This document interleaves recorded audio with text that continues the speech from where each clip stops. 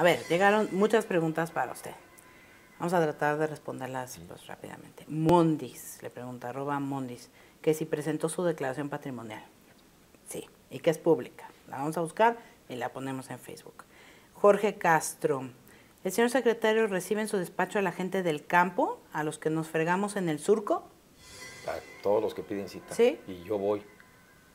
Sí. O sea que si él, Jorge Castro, le habla, ¿lo recibe? Él y cualquier persona. Ricardo Domínguez, no nada más. Ah, no, que nada más le manda a decir que queremos buenos resultados de su trabajo. Atentamente, uno de sus jefes. ¿Cómo Pues ven? los ciudadanos. ¿Sí? Pues es cierto, ¿Le gusta razón. eso? Sí, pues ¿Sí? de parte así es. ¿Acepta que la ciudadanía es su jefe? Sí, claro. Lilia, Lilia Torrentera, que fiscalice al delegado de Oaxaca por financiar la carrera política de su hijo. A ver, pues no. ¿No tiene info- noticia tengo- de eso? No tengo información, pero lo checo. Ok. Sergio Valle Cervant, ¿por qué en Estados Unidos los campesinos mexicanos sí producen y aquí no? No, aquí sí producen. Pues a ver, hoy, hoy les exportamos más de lo que no- ellos nos... Hábleme de cifras. ¿Por qué, Sí. ¿Por qué él tiene esta percepción? Vamos a decirle que no o que sí. a ver, la, cifra es, Ajá. el año pasado exportamos 26.600 millones de dólares y tuvimos una balanza superavitaria, es decir, exportamos más ¿De lo que en- importamos? En 1.600 millones de dólares. A Estados Unidos le exportamos 60 millones de dólares al día. Y a Estados Unidos y el resto del mundo 72 millones de dólares al día. Hoy les exportamos más de lo que ellos nos mandan. Ahora, hay muchos, eh, digamos, muchos eh, eh, personas, muchos mexicanos que trabajan en los campos americanos que también son altamente productivos y competitivos. Ellos le han, le han invertido a la tecnificación, al riego, como platicábamos, a la maquinización del campo en los Estados Unidos, que es parte de lo que estamos haciendo en este momento. Pero te hago una reflexión. Es decir, hoy estamos compitiendo contra los mejores del mundo y contra todos los mejores del mundo tenemos una balanza superavitaria por primera ocasión, Katia, ¿Desde cuándo? en la historia, yo creo que en la historia. O sea, nosotros decimos 20 años porque hacemos un corte de caja, digamos, el TLC para acá. Pero por primera ocasión tenemos una balanza superavitaria. Y este, lo cierto es que como cada vez menos gente vive en el campo Sí. y más hacia la ciudad, que es una tendencia a nivel global, ¿qué, qué es lo que va a pasar con el campo, con esto? A ver, te- te- primero tenemos que transmitir un mensaje, que tenemos, que tenemos un campo que es altamente competitivo y que, y que es negocio. Y tenemos otro campo al que tenemos que asistir de, de manera solidaria por la deuda histórica que te, que te comentaba. Pero, por ejemplo, los que producen jitomate tienen una utilidad del 25% por año.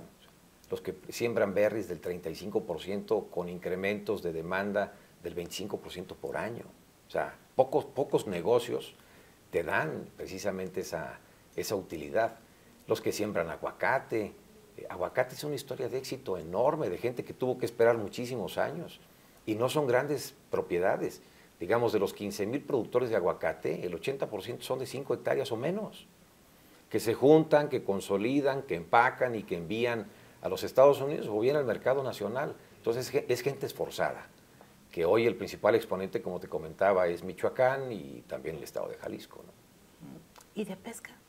Pesca vamos bien. El año pasado el valor de la pesca fue como de 25 mil millones de pesos.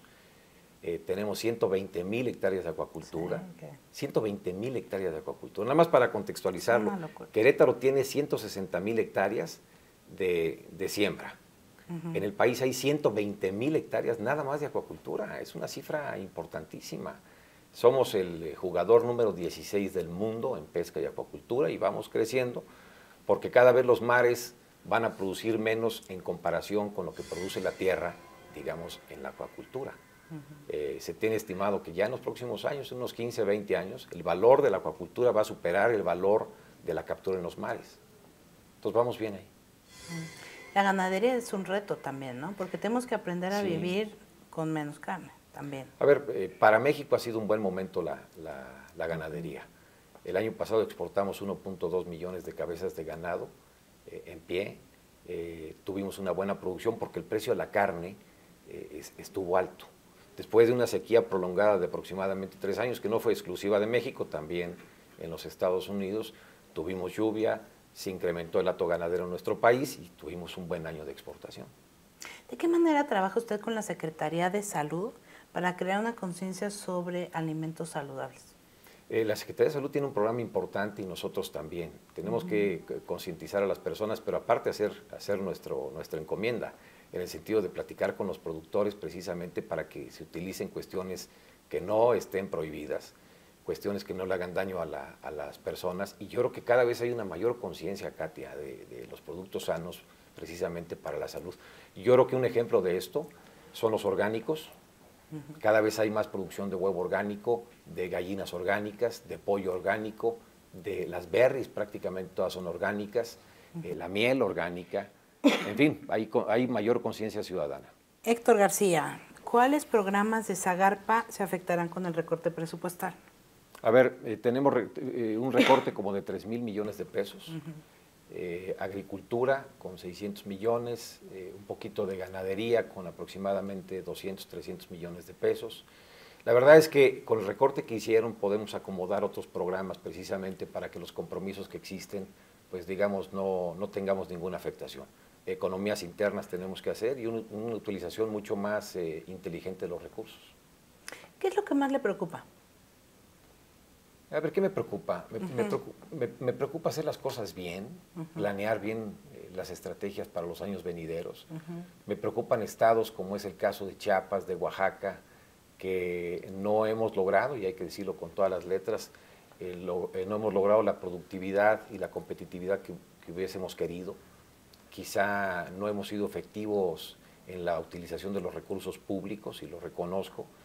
Eh, hay áreas de oportunidad enormes, por ejemplo, a Chiapas con el café, a Veracruz o a Campeche con la ganadería. Necesitamos, necesitamos meternos más y necesitamos también tecnificar las áreas en las cuales eh, hacen la diferencia en la, vida de la gente. Eso me preocupa. Me preocupa no ser efectivo también para llegar a las zonas rurales. Por ejemplo, tenemos muchos programas en el, ámbito rural que llegan directamente a las familias, eh, que no tienen que ver con eh, colocación de productos en los mercados, sino que tienen que ver con autoconsumo de las familias, y eso es una cuestión que cotidianamente preocupa. Claro. ¿Tendrá que ver Chiapas y Oaxaca por su alta eh, porcentaje de población indígena y en pobreza? Pues yo creo que tiene que ver con varias cosas. Eh, digamos, las cuestiones eh, Geográficas, que, tienen que ver con pobreza no solamente son la alimentación, son multidimensionales. Y, me parece que todas las secretarías, como ha sido instrucción del presidente, pues tenemos que atacar una misma dirección. Educación, salud, vivienda. Por ejemplo, la vivienda es un aspecto muy importante. Nosotros en Querétaro, nada más para citar un ejemplo, nos enfocamos en tres grandes cosas en el ámbito de la política social, que era agua, luz y piso firme para todas las viviendas.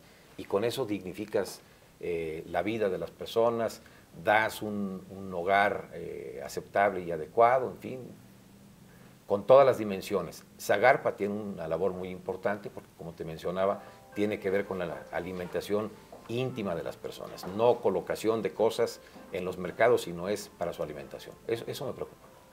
Eh, Alfredo Matadamas, eh, por favor que haya más transparencia en los agroinsumos y apoyos al campo. Sí, y tiene razón. Por eso la apertura de los padrones con el Consejo Nacional Agropecuario, para que no sea solamente la Secretaría de Agricultura la única instancia que lleva a cabo, digamos, el arqueo de eh, los saberes de la propia Secretaría, sino que tengamos órganos auxiliares que se dedican y que conocen a los productores. Tiene mucha razón. ¿Y para cuándo o qué? No, no, ya lo entregamos, sí. O sea, eso lo entregamos, eh, en diciembre lo anunciamos con el presidente de la República y lo entregamos hace, no sé, dos, tres semanas al Consejo Nacional Agropecuario para juntos hacer este arqueo. Y, y se va a mantener. O sea, no es flor de un día, pues. No, pero, pero además es una obligación. O sea, a partir de los próximos meses, todas las dependencias del Ejecutivo Federal tenemos que hacer públicos los padrones de beneficiarios, las listas de beneficiarios. Loro Pardo, arroba pesca LTDA. ¿Por qué no pagan los apoyos comprometidos en tiempo y forma? Si el sector generó ingresos récord, ¿por qué rebajan los apoyos al sector? A ver, más que rebajar, reconozco que no se habían pagado muchas cosas y seguramente tú te has enterado que teníamos aquí una deuda histórica, ¿eh? o sea, no solamente de esta administración, inclusive pasaba de la administración por más de 12 mil millones de pesos, 12 mil millones de pesos. Eh, pues no se habían pagado cosas. La verdad es que por ineficiencia propia de la, de la dependencia, esa es, la verdad. ¿Ineficiencia o corrupción? No, yo creo que ineficiencia, sí. y, en ocasiones pues también recortes presupuestales afectaron programas, esa es, esa es la verdad. Pero eh, el presidente de la República nos dio instrucciones para que pagáramos todo. Empezamos a pagar en diciembre, ya vamos muy adelantados en los pagos de Acerca, por ejemplo, de Progan, de Proagro, de Propesca, de Procafé, y yo creo que en el mes de abril, con las nuevas eh, responsabilidades que adquirimos, pues estaremos cubriendo todos los pasivos que teníamos. Hay pocas cosas que son tan eh, dolorosas como que haya alguien que te debe y que no te pague, y máxime si es el gobierno. Entonces, el señor tiene razón, pero estamos en ese curso. Fernando Belanzarán, que fue diputado eh, del PRD y está muy metido en este tema, le pregunta, si ya están listos para acompañar a productores legales de marihuana y amapola cuando se regule. Pues hay que ver cómo se regula. O sea, el debate está en curso y nosotros estaremos esperando porque una vez que se dé el debate entiendo que esto pasará a manos del legislativo y del ejecutivo y pues únicamente en la Zagarpa obedeceremos instrucciones. Sí, bueno, es una discusión, como bien dice, se acaba de terminar los últimos foros y efectivamente se va a discutir de, una u otra manera. Ya hay dos amparos interesantes de marihuana medicinal eh, y recreativa. Y en abril, México, junto con el mundo, va a ir a una reunión a Naciones Unidas donde se va a a rediscutir el tema. pues digo, me parece un debate interesante y seguramente seguirá siendo un debate intenso. Lo que nosotros en las dependencias, por lo menos en la SAGAR, pues queremos saber cuál es nuestro tramo de responsabilidad. Y una vez que nos fijen nuestro tramo de responsabilidad, pues lo haremos. Punto. ¿Y usted personalmente está a favor de la regulación de la marihuana medicinal lúdica o ambas? Eso es un tema polémico. Es un tema polémico. Pues sí, pero eh, hay muchas gentes que están a favor, otras gentes que están en contra. No, pues le pregunté de usted. Pues sí, a mí me cuesta trabajo. ¿eh? ¿Qué? O sea, me cuesta, trabajo la, me, cuesta trabajo la discusión. O sea, es un tema que hemos venido combatiendo durante muchos años, eh, en el cual, por lo menos a nosotros, a mi generación, le educaron como que era una cuestión mala, o que hacía daño a la salud, o que generaba violencia. Y hoy hay un debate de, digamos, de liberalización de este tema en el cual eh, inclusive mucha gente combatiéndola ha muerto. Entonces, a ver, no tengo perfectamente claro cuál es mi posición. Entiendo a las personas que defienden por cuestiones médicas y algunas personas por cuestiones lúdicas, eh, pero bueno, pues es un tema de debate. ¿Usted qué le diría a sus hijos con respecto a la marihuana?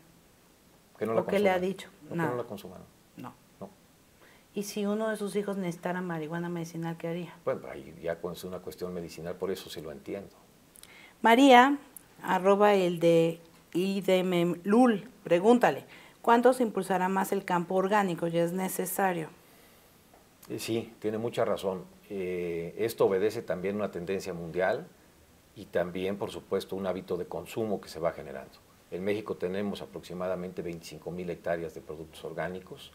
Cada año se está creciendo casi 20% en producción de productos orgánicos y más cuando hay una demanda creciente. Por ejemplo, ahorita platiqué con representantes de la Unión Europea, ellos quieren miel orgánica, quieren huevo orgánico, quieren eh, productos orgánicos. Entonces tenemos, tenemos que invitar a las personas para que se metan en esa en esa dirección, en el sentido de poder eh, producir más orgánico, evidentemente con asistencia de Zagarpa, pero esto se va a dar, esto es una cuestión que llegó para quedarse.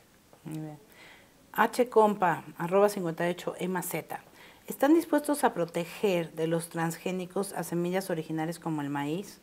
Por la crisis están dispuestos a reactivar el campo y olvidar la sustitución de importaciones. Y bueno, Esteban Anaya, como en el mismo sentido, no, Evan Anaya, arroba guay, ¿qué gana la Zagarpa litigando a favor del maíz transgénico cuando en otros países ya se prohíbe? A ver, en unos países se prohíbe y en otros se permite. O sea, en el, mundo hay 30 países que hoy producen con semillas transgénicas.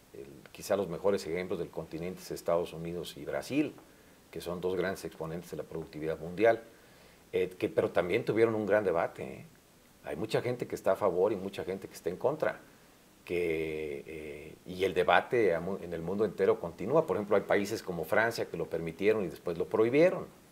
¿Por qué? Pues porque la gente también cambia de hábitos o bien eh, las gentes tienen preocupaciones. En México todavía continúa ese debate, pero a nivel mundial pues eh, es una práctica socorrida. En, México tenemos eh, siembra de transgénicos, particularmente para cuestiones de investigación, y también algunos otros productos que no son para consumo humano, como es el caso del algodón. Hay 150 mil hectáreas sembradas de algodón, en las cuales se siembra, se cultiva, se cosecha y es los productos que usamos en la ropa. Eh, compa 49, arroba Lubina Q, ¿para cuándo el veto a Monsanto? En México, dice. Pues a ver, Monsanto no solamente produce o, provee al mercado de transgénicos, provee de muchas otras cosas más que no tienen que ver nada con transgénicos. Pero este debate se tiene que agotar para que después la autoridad tome una determinación. Benjamín Pozos te hace una pregunta interesante. Benja Pozos. La Zagarpa y el cambio climático ¿Cuáles son las acciones de mitigación? Está muy atrasada. ¿Qué se hará? Y que la respuesta no, solo se enfoque en adaptación, dice. Zagarpa está muy retrasada. A ver, para el mundo entero el cambio climático es un tema. Es un tema. Hoy eh, mares son impredecibles, los vientos son impredecibles, tenemos, tenemos huracanes cuando no había, la temperatura de los mares ha alcanzado niveles históricos. Es un tema complejo que no solamente seguridad tiene que ver mundial que no solamente tiene que ver con Zagarpa, tiene que ver con las emisiones a la atmósfera, tiene que ver eh, con el calentamiento de la atmósfera por la generación de energía, eh, tiene que ver también con los vehículos que circulan en la calle. Y la ganadería, y las vacas. La ganadería, los fertilizantes, es decir, es una contribución, pero no es solamente del campo. En el campo se hace, se hace su parte. Eh, la recuperación de suelos agrícolas, o bien el, cuidado en la utilización de fertilizantes orgánicos. Este año tenemos 400 millones para empezar a producir fertilizantes orgánicos en el campo que no dañen a los mares, que no dañen las tierras, que no generen zonas áridas, en fin, pues estamos haciendo nuestra tarea, pero, pero eh, no es un tema sencillo, no solamente en México, es un tema complejo a nivel global. Alejandro Godoy le pregunta, eh, arroba SBPesca2, ¿cuáles son los planes de contingencia por el TPP? el tratado, ¿cómo se llama? Sí, el, Pacífico, Transpacífico. Transpacífico. Los agroalimentarios son los más afectados. No. A ver, yo, te mencionaba hace un momento que hoy estamos compitiendo contra los mejores del mundo y contra ellos tenemos un superávit. Eh, hay áreas más delicadas, por ejemplo, los, lácteos es el tema más delicado del TPP, pero no solamente el TPP, también del TLC. Pero déjame darte un dato. Cuando empezamos el TLC, se estimaba que la producción de leche y lácteos iba a sufrir de manera importante. Y sí, por los primeros años, pero se empezó a invertir. En aquel entonces, no me recuerdo, producíamos 4 mil millones de litros de leche. Hoy producimos 14 mil millones de litros de leche. Es decir, no obstante la competencia, hemos crecido. Estamos buscando otros mercados para poder exportar excedentes o colocar productos con valor agregado. La competencia con respecto a los lácteos va a ser con Nueva Zelanda, que son muy competitivos en muchas ocasiones por cuestiones del clima, por cuestiones de su propia naturaleza y de los pastos que crecen allá, y tendremos que asistir a nuestros productores precisamente para poder invertir en infraestructura que los haga competitivos y puedan incrementar valor. Pero somos buenos. Ernesto Aguilar, valuador 77. Para todos los fines se siembra en las comunidades más pobres de la sierra es la única fuente de empleo, tienen pérdidas por heladas, plagas, sequías. No hacen ninguna pregunta, pero supongo que quiere que comente al respecto, ¿no? Pues eh, seguramente se refiere a los seguros catastróficos.